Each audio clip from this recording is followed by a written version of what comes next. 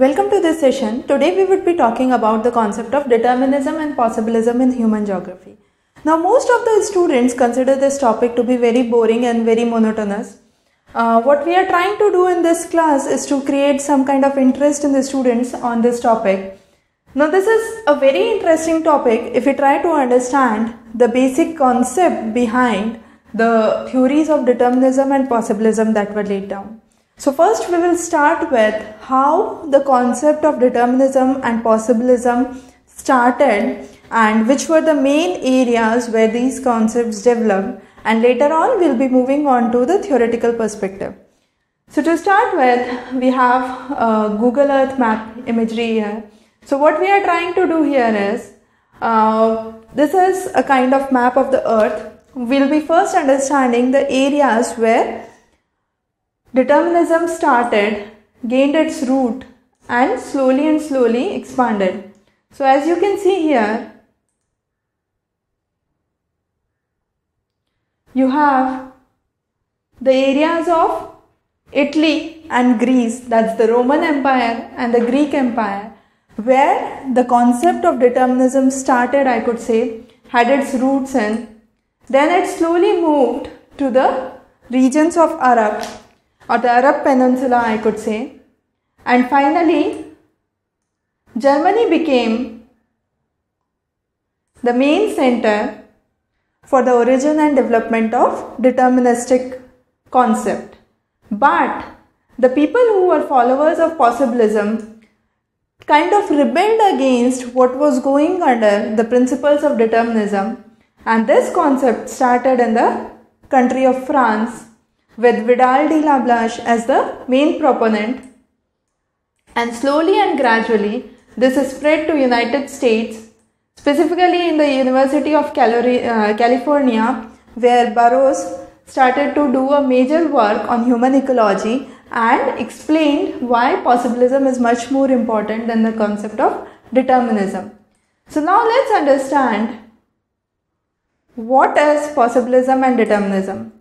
We have already seen how the things moved, the areas of determinism and the areas where possibilism grew. Now there are two options, one is free will and one is determinism.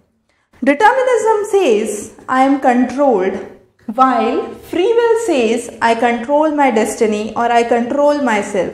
That means if you are amidst a situation a person who is a follower of determinism will say, uh, There is a very awkward situation, I can't do anything.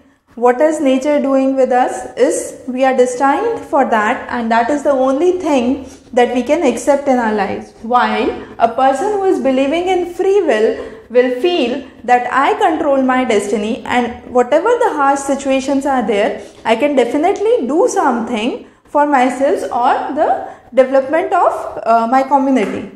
So that's the basic difference. Now here I am trying to take a very simple example. If there is a gunman standing in front of you, most of them will say, okay, there is a gunman, we don't have anything to do. Uh, we are destined with, uh, the person is controlling us basically. So that is something what is deterministic. So most of them will say, oh, there is a gunman, we are, uh, we cannot do anything so that is a kind of followers who will say, uh, who will follow the deterministic approach. On the other hand, there can be a set of people who can say, okay, uh, we must do to uh, do something to escape away. Either we can uh, do something uh, to divert this person or we must escape away. So that's a kind of ideology that a person with possibilism says.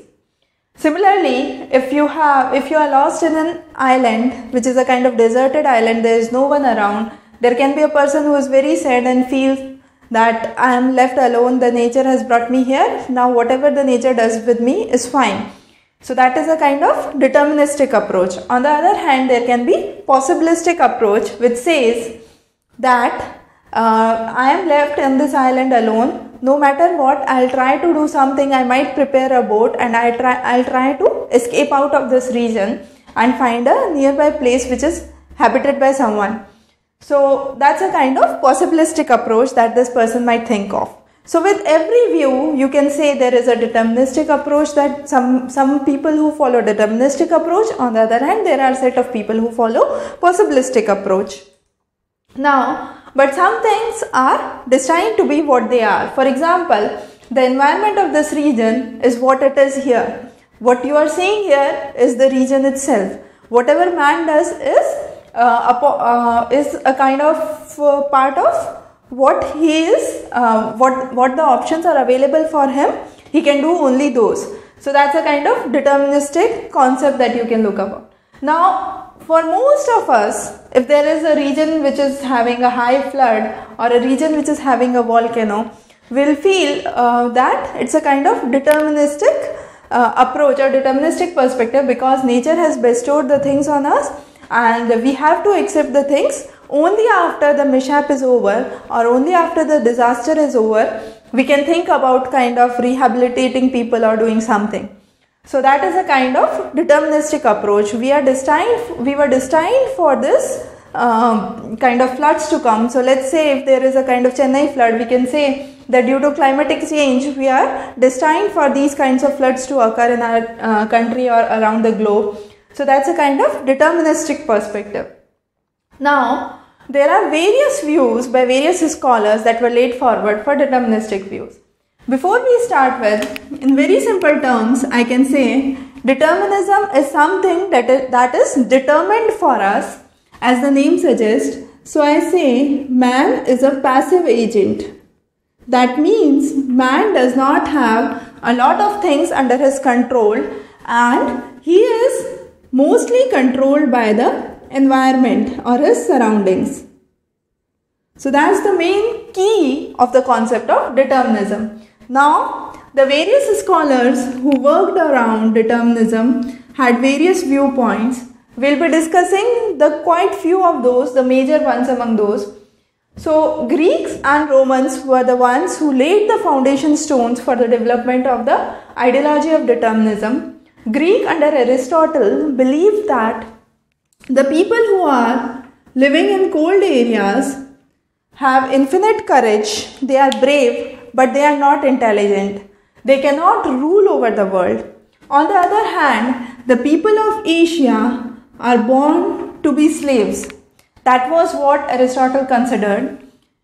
Only the people of Greece or the Greek people are those who are geographically location uh, who have a geographical location which is in kind of middle of the earth as a result they have the best advantages and they are destined to rule all over the world. So that was something that was the belief of aristotle. Then came strabo. Strabo said he was a roman person. He said that climate relief and slope are the features that affect human development or human growth in any region. Then came Montesquieu. He said the people of cold area are courageous, they are strong enough to face adversities and they are much more frank as compared to other people. Now there was a famous scholar Al-Masudi from Arab. What he believed was there are two kinds of people that exist based on the region they are living the people who live in wet area or who have ample of water are humorous and gay. That means they are happy with whatever they have and they are a kind of jolly persons. On the other hand, the people who live in dry areas are mostly short tempered. Kant gave an inter interesting finding where he said the people of New Holland have half closed eyes. And those half closed eyes are only because of the reason reason that there are numerous flies or insects that are prevalent in that region. So just to prevent their eyes from uh, the attack of flies they have kind of half closed eyes. So these were the, some of the concepts that were followed under deterministic approach. Now this these people laid the foundation for the development of the main concept of determinism, which had its whole and soul in Germany, I could say. So, most of the German scholars followed the concept of determinism. The first was Ritter. He said that variations in the physique or uh, in the surrounding uh, affect, sorry, variations in individual physique is due to the surroundings in which they are living. So the people who are living in uh, hot area are adjusted to that area. Uh, the people who are living in cold area are meant to live in cold areas only. So that was what Ritter believed. Then came Humboldt. Humboldt said that uh, it's not only just the re- different regions that affect, but mountains also affect the uh, the the kind of people that live in. So climate was considered as a major component by Humboldt, and Humboldt believed that climate is a major factor that affects or that determinant that determines the life of a man. Then came Ratzel. Ratzel is technically called as the father of determinism.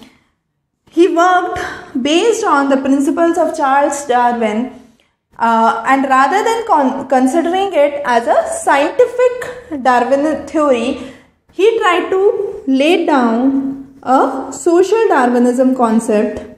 And under this social Darwinism concept, he said man is considered as an organism. So when he said man is considered as an organism, he owed uh, the kind of state to an organism and he said that the life of an individual is governed by the area or the state where he is living. Now Semple considered man as a dust of the Dust of a dust. So we'll be talking about one of the famous abstracts of Semple's work which was mentioned in the Influence of Geographical Environment in 1911.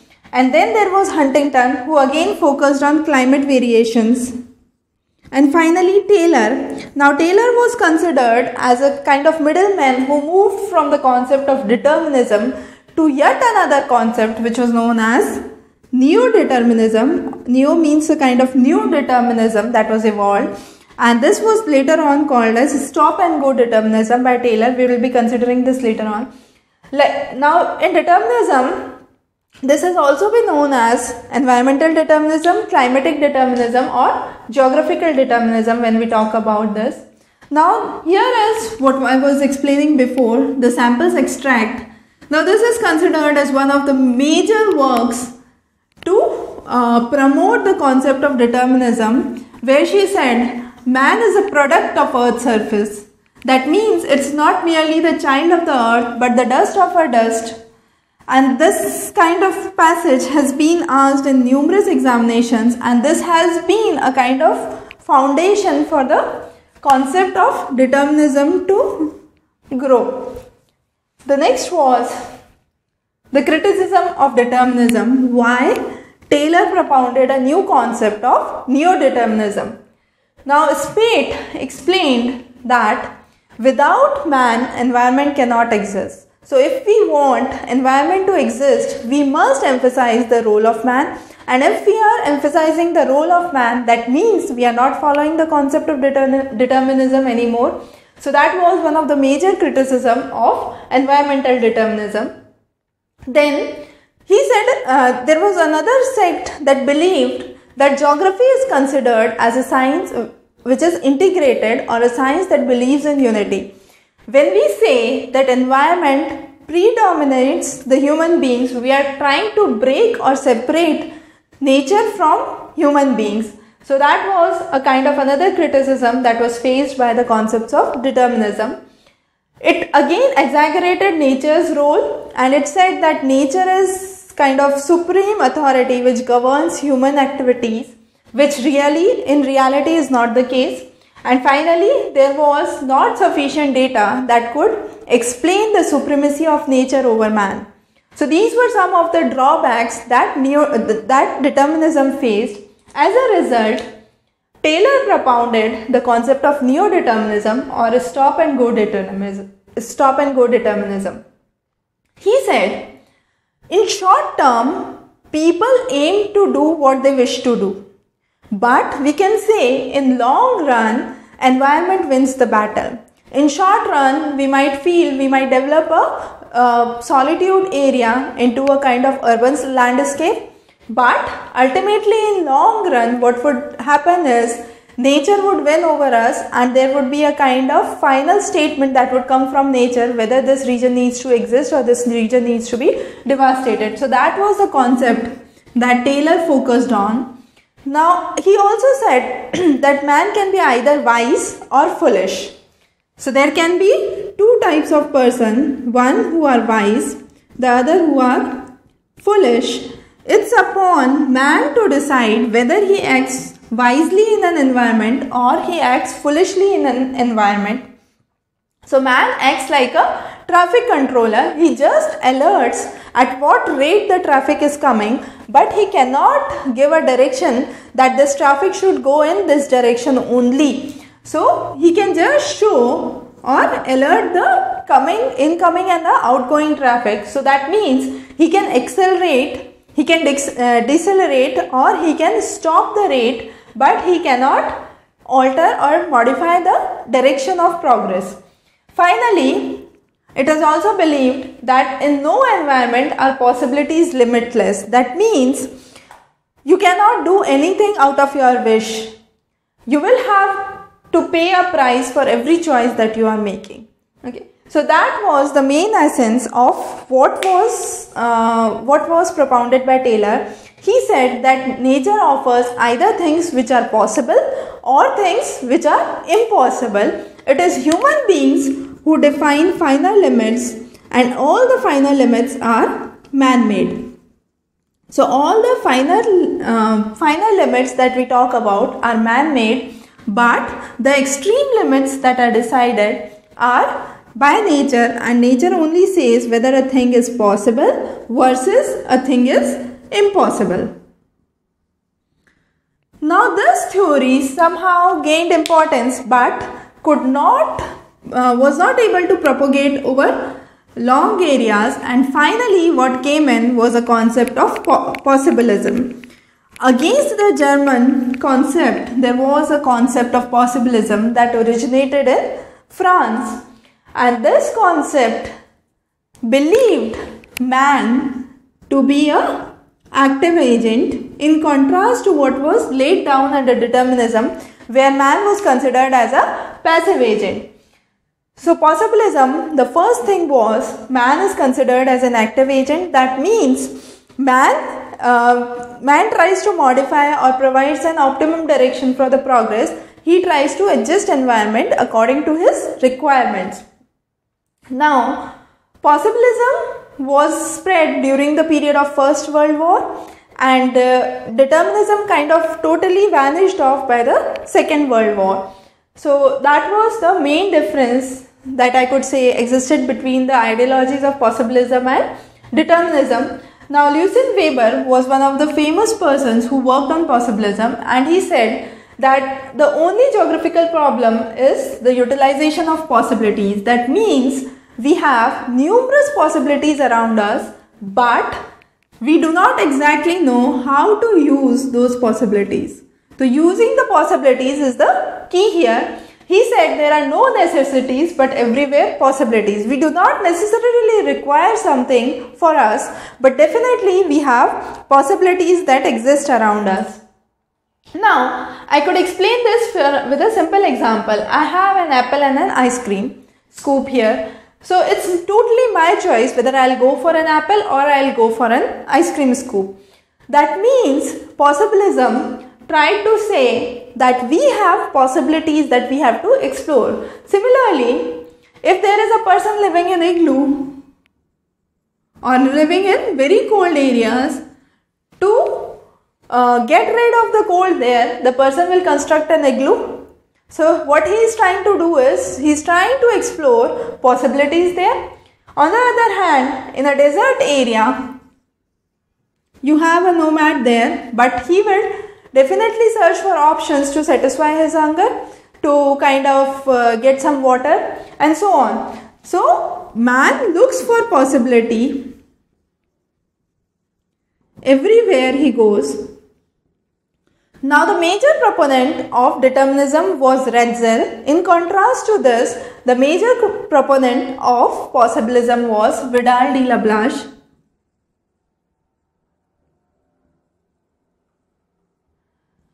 Now Vidal said he introduced an interesting terminology that was lifestyles and he called it as genres de vie where he said that lifestyle is a product and the reflection of what the civilization is and the surroundings of a human being.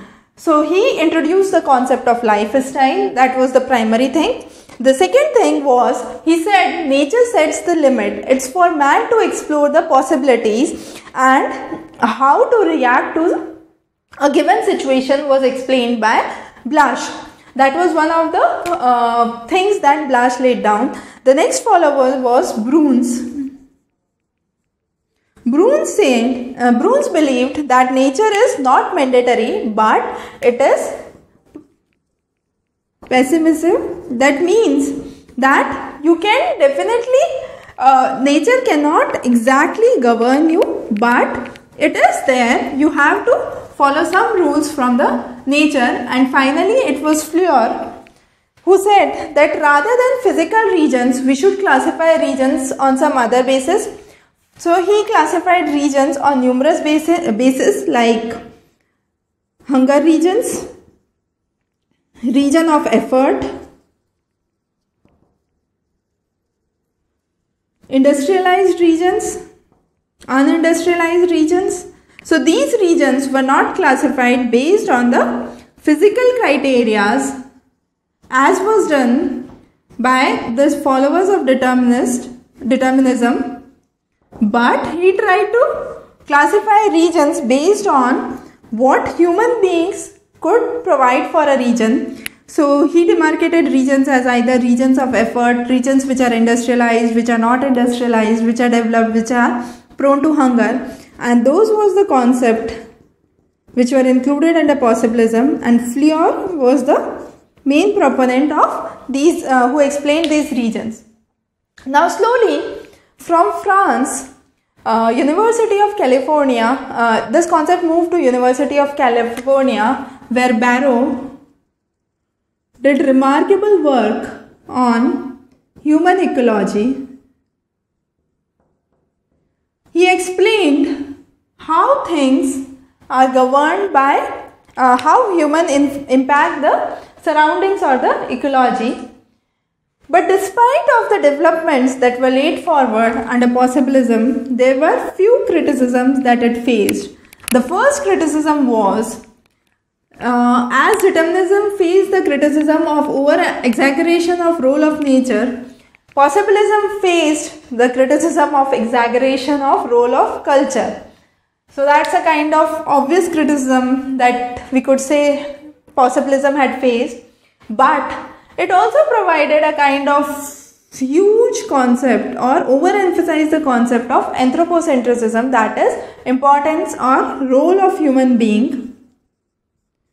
And the followers and the critics believe that uh, we cannot say human beings affect environment so much and there should be a balance that should exist between environmentalism and possibilism was the key at this point of time.